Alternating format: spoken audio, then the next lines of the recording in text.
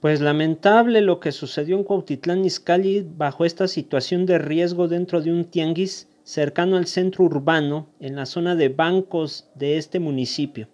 Según menciona el Universal que al menos hay dos lesionados que dejó esta mañana a partir de las 10 un enfrentamiento entre operadores de grúas y comerciantes que pertenecen a la Confederación Autónoma de Trabajadores y Empleados de México, la CATEM, y la Alianza de Transportistas, Comerciantes y Anexas de México, la ACME, en una disputa por los espacios en el centro urbano.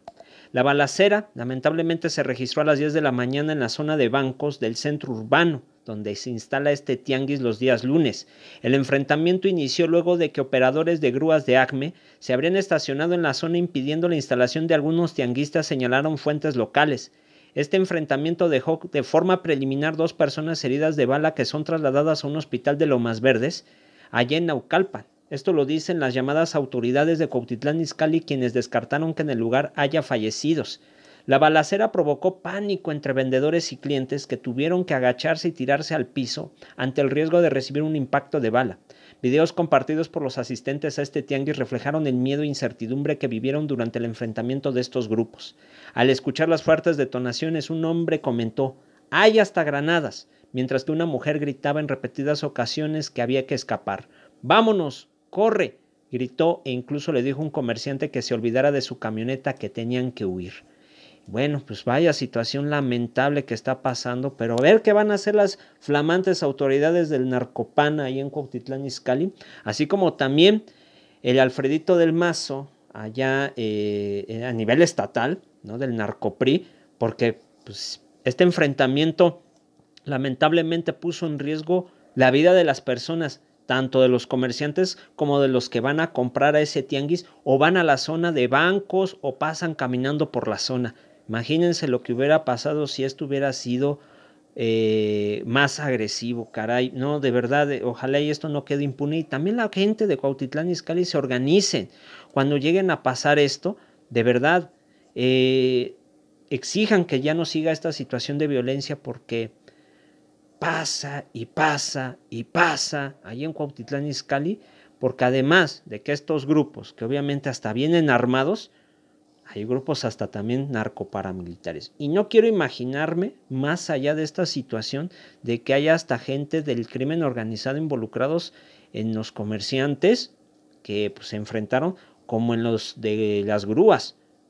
Ojalá y pues me equivoque, porque, pues bueno, hasta decían que se escucharon granadas esto ya es la verdad, pues bueno.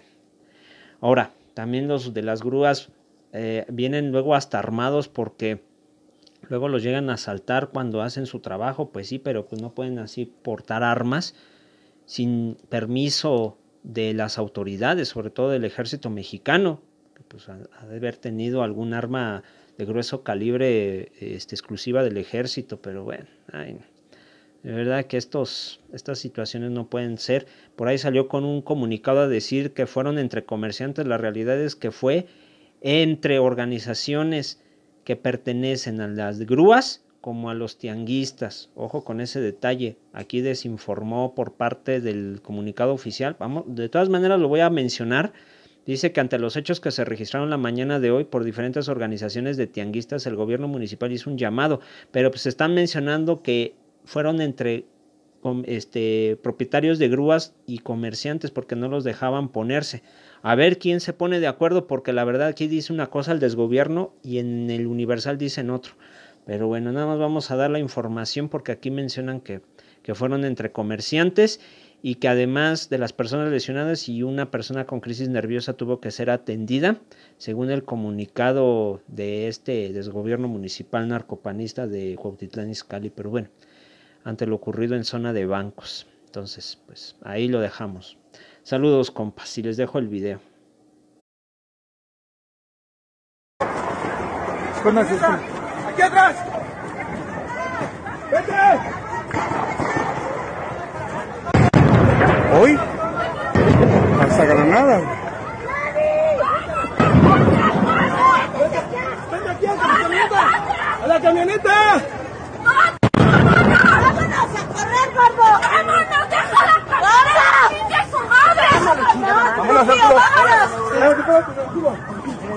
Tranquilos la camioneta.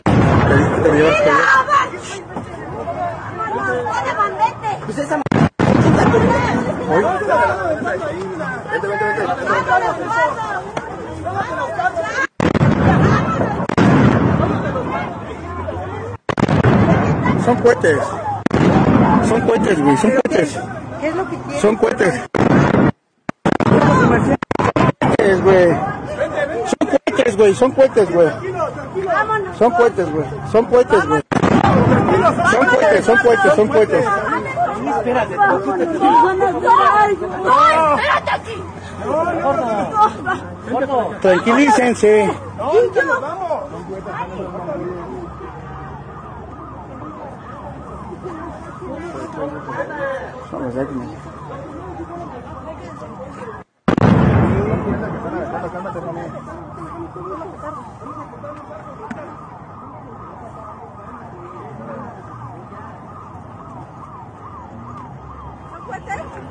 Me vas a tirar.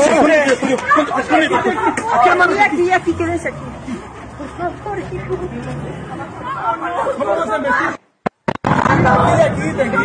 No, no, no digas pendejadas. ¿Cómo los vas a investir? No, no, no. Déjalos que se vayan. Ahorita, deja que se muevan, ahorita nos vamos. No nos van a hacer nada.